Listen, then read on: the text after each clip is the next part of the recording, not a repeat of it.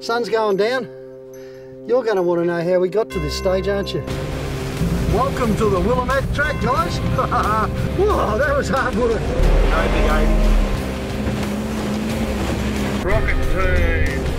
See if I can make this happen, hey? Put the fire on. Oh. It's losing it down the bottom. You know, we'll have to go higher. Well, I'll tell you what, this is what happens when you ask the locals and when you set out to find out what's tougher, east or west coast.